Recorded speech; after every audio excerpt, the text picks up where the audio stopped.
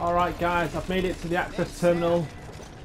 Uh, I'll show you where I'm actually am. I'm at the distribution centre. Uh, there was the wind farm. So the first standing order I'm going to complete, which is every day deliver it.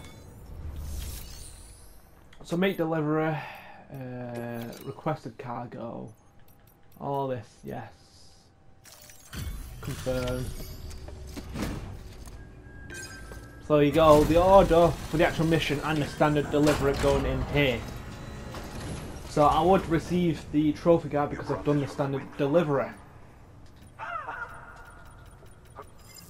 So thank you for tuning in. Stay tuned for more. I'll see y'all soon. Adios.